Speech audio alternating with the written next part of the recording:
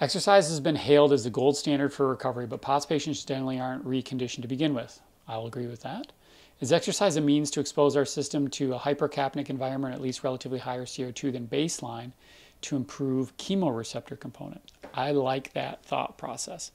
And I would expand it beyond just looking at the CO2 levels.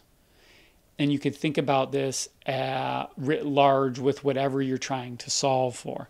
So whatever the the crux or whatever the problem is in the system, that's what you're trying to do. Is you're trying to create. I'm going to give you guys a word. I made a video about this this week, but it probably hasn't come out yet. I'm going to give you a word that I think is going to be useful in this community, and it's called allostasis. Allostasis.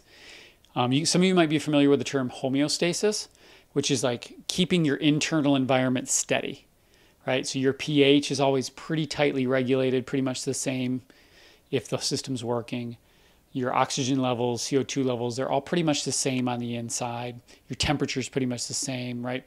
So we keep them in these really tight constraints. So what allostasis is, is allostasis is the body's ability to deviate from homeostasis. Because the reality is, is like at rest and everything is just cool you can like resting is a lovely part of life but it's not like the active part of life. If you've got to eat you can't just lay there and hope that the food lands in your face.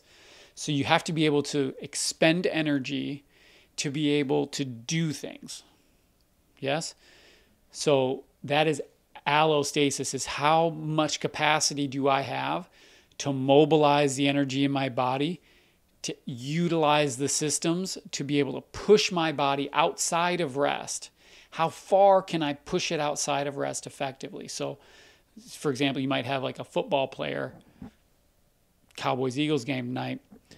They can rest, their heart rate's super low, the body's relaxed, everything is really easy, but they can also get up, sprint down the field with just a bucket of muscle on them and just create a violent hit on the other side of the field, mobilizing a ton of energy, right?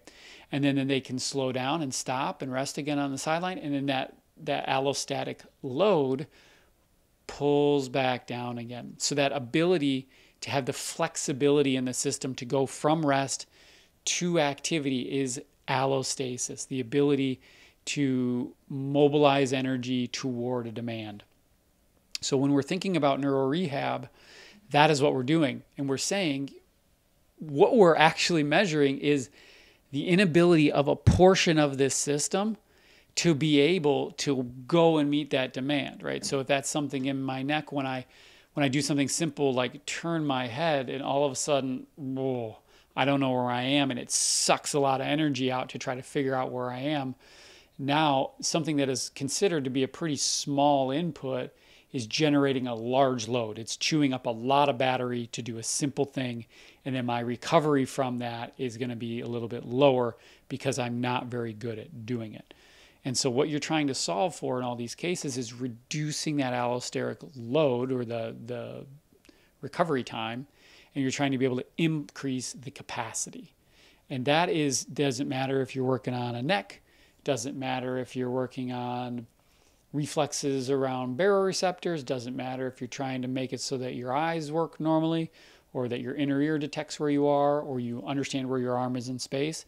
In all of those instances, you're trying to take a thing that takes way too much energy and operates poorly and turn it into something that it becomes more efficient and operates well so that when it's plugged back into the rest of the machine, you can do more things. And that's kind of like the head and neck of it.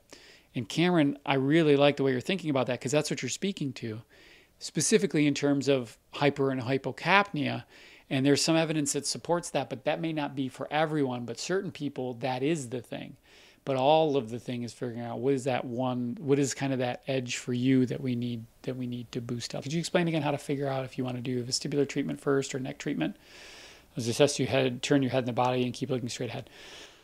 Um, not entirely. So we're looking to see how they're involved with each other.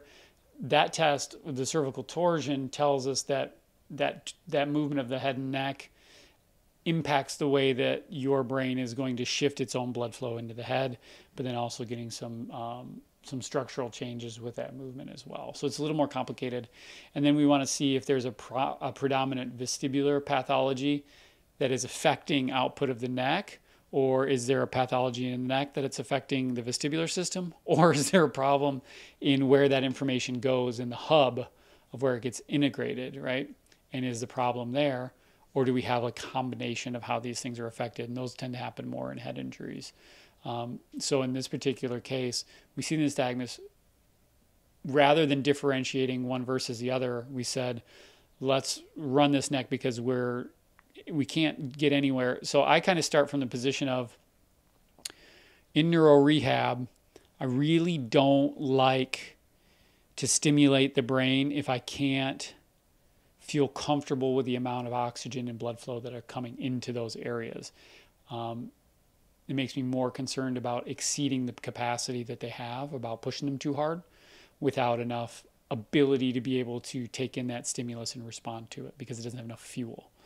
So I will tend to set the priority more toward can we stabilize the fuel and then be able to use that as a way to then stimulate the rest of the system. So that's kind of the way I'm thinking about it in these case, in this particular case as well, where I'm trying to do things that first augment blood flow because that gives me way more latitude to throw more things at her to stimulate her brain without feeling like I'm going to overwhelm the system and potentially cause a problem.